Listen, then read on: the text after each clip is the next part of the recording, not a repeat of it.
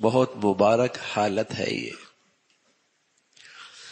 कि आदमी अपने गुनाहों की वजह से मायूस भी ना हो, अल्लाह की रहमत से उम्मीद रखे। और आदमी अल्लाह के खौफ से भी खाली ना हो, कि गुनाहों पे जुर्रत करने लग जाए, जरी होने लग जाए। हाँ खौफ हो अपने गुनाहों पर, उम्मीद हो अल्लाह की रहमत से। बहुत मुबारक हालत है। गुनाह तो हो जाएगा। इंसान है, गुनाह तो हो जाएगा। लेकिन उस गुनाह पे डर शुरू हो जाए कि क्यों हो गया। गुनाह पर अल्लाह की पकड़ हो जाएगी। ये जो खौफ है, ये बड़ी मुबारक हालत है। और इतना खौफ भी ना हो कि आदमी मायूस हो जाए कि मेरी तो बख्शिश ही नहीं होगी। मेरी तो अल्लाह माफ़ी नहीं करे, रहमत से भी उम्मीद। तो ये जो हालत है, ये बड़ी मुबारक हालत है। आप ये सलाह तो ने फरमा अगर तुम्हारी यह हालत है कि तुम्हें अल्लाह की रहमत से उम्मीद है और अपने गुनाहों की वजह से सजा का और अल्लाह की पकड़ का डर भी है तो अल्लाह उससे तुम्हें ज़रूर महफूज रखेंगे जिससे तुम्हें डर लग रहा है और अल्लाह तुम्हें अपनी रहमत से भी नवाजेंगे। हज़रत मुहदसिन ने फरमाया कि ज़िंदगी की हालत में जब सेहत हो कुआ मज़बूत हो, सेहत हो कुआ मज़बूत हो, ताकत हो, सेहत हो तो उस वक्त खौफ गालिब रहना चाहिए। खौफ गालिब रहना चाहिए। और जब आदमी बुढ़ापे में चला जाए आसाब कमज़ोर हो जाए, अमाल इतने नहीं कर पाता। या बीमारी की आखिर हालत में हो तो वहाँ उम्मीद गालिब होनी चाहिए। अल्लाह के नबी के अहादीस को सामने रखकर हज़रत मुफदसिन ने लिखा कि आम हालत में आदमी में खौफ गालिब हो। अपने गुनाहों की वजह से, अल्लाह की पकड़ की वजह से खौफ गालिब हो। ताकि ये चीज़ इसे गुनाहों से रोक दे।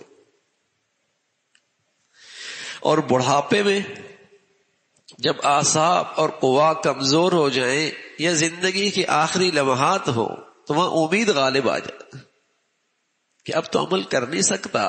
अल्लाह की रहमत से उम्मीद है, माफ़ कर दें।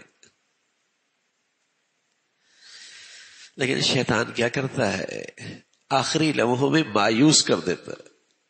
अब तेरा क्या बनेगा? अब तेरा क्या होगा? अब तो तू मारा गया। और जब तक सेहत और कुवत होती है तो शैतान धोखा देता है। अल्लाह बड़ा रहीम है, अल्लाह बड़ा मेहरबान है, और गुनाहों पे ज़रूरत करता रहता है। ये नादान आदमी। गुनाहों पे जरी रहता है, गुनाहों पे इसरार करता रहता है। ये हलाकत है, ये बर्बादी है। तो ये खौफ और उम्मीद बड़ी मुबारक हालात है। ततजाफा हूँ अनिल मवाजी यदून रब्बहुम खौफा व तमा ये अल्लाह के नेक बंदे हैं रात को इनके पहलू बिस्तरों से अलग रहते अल्लाह के सामने क्याम में रुकू में सजदे में गिड़गिड़ाने में गुजरते हैं ततजाफा जनूब हम अनिल मवाजी यदून रब अपने रब को बुलाते हैं रात को तहजद में लेकिन क्या मतलब? अपनी इबादत पे मुतमिन ना ना। खौफन। खौफ। इतनी ज़बरदस्त इबादत और ऐसी मुबारक घड़ी में इबादत नसीब हुई। ऐसे मुबारक साथ नसीब हुए, लेकिन दिल खौफ से खाली नहीं है। खौफ। वो तमा हाँ अल्लाह की रहमत की तमा और उम्मीद भी। ये इन मुबारक हस्तियों का तस्करा है जो अल्लाह के वो मकबूल बंदे हैं, जिन्हें रात के तहजद और रात की मुबारक घड़ियाँ नसीब होती हैं। उनकी अल्लाह करीम तारीफ़ फरमा तजाफा जरूब वतमा। तो कितना भी बड़ा नेक आदमी हो जाए, उसकी नेकी कबूल हो जाए, और वो नेकी के सही रास्ते पे चल रहा है उसकी एक बड़ी अलामत है कि उसका दिल खौफ से खाली ना हो, खौफ खुदा हो। उसे खौफ खुदा नसीब हो। इस खौफ खुदा की बरकत ये होती है कि बड़ी से बड़ी नेकी की भी तौफीक मिल जाए ना तो आदमी नेकी की वजह से भी गुरूर में मुबतला नहीं होता। आदमी नेकी की वजह से भी मगरूर नहीं होता। आदमी उस नेकी की वजह से भी दूसरों को हकीर नहीं जानता।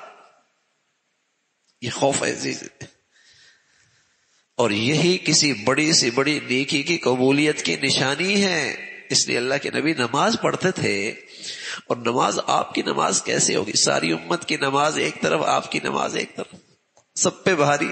लेकिन जब आप नमाज़ से फारिग होते तो सबसे पहले कहते, अल्लाह अकबर, अस्तगफिरुल्लाह अस्तगफिरुल्लाह अस्तगफिर अल्लाह माफ़ फरमा दे, अल्लाह माफ़ फरमा दे, अल्लाह माफ़ फरमा दे। अल्लाह अकबर, ऐसी बढ़िया नमाज़, और वो अल्लाह के नबी की नमाज़। लेकिन उसके बाद कर अस्तगफिरुल्लाह अस्तगफिरुल्लाह अस्तगफिरुल्लाह। ये अल्लाह के नबी की सुन्नत है। ये क्या है? उम्मत को सबक दिया कि बड़ी से बड़ी नेक आदमी भी उसकी नेकी की कबूलियत क्या है कि उसका दिल खौफ खुदा से खाली ना हो? खौफ।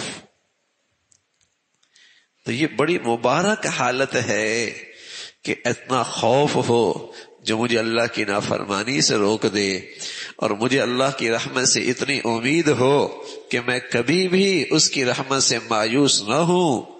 और उससे माँगता चला जाऊँ उससे माफ़ी करता चल, उससे माफ़ी माँगता चला जाऊँ उससे इस्तफार करता चला जाऊँ मुबारक हालत है। अल्लाह ताला भाई ये ईमानी सिफात हमें भी नसीब फरमाए।